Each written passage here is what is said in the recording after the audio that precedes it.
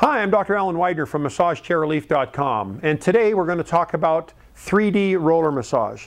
Now, 3D roller massage has become all the rage in the massage chair industry. A lot of the chairs are coming out with it now. It's a relatively new feature, and uh, it has become something that a lot of people are looking for when they're buying a massage chair. But what is 3D massage? I mean, it sounds cool and people are asking for it. Some people ask for it without even really understanding what it is.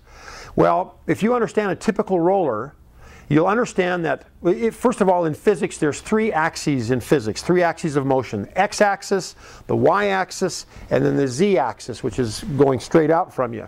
x-axis out the side, y-axis is up and down, z-axis is forward.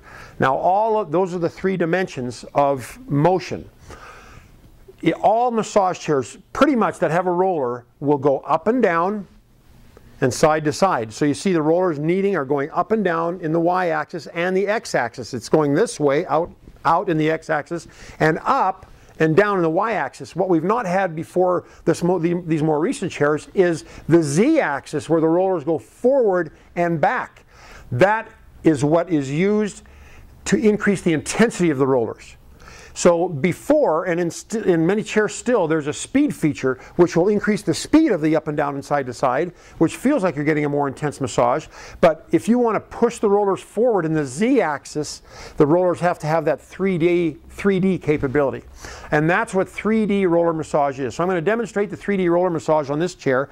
This chair, as you can see, right now I have it doing kneading and tapping. You can see it going back out from out to in on the x-axis.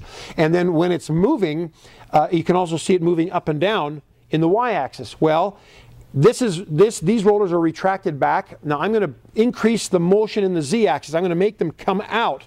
And with the, with the use of my hands, you'll be able to see the rollers start to move forward.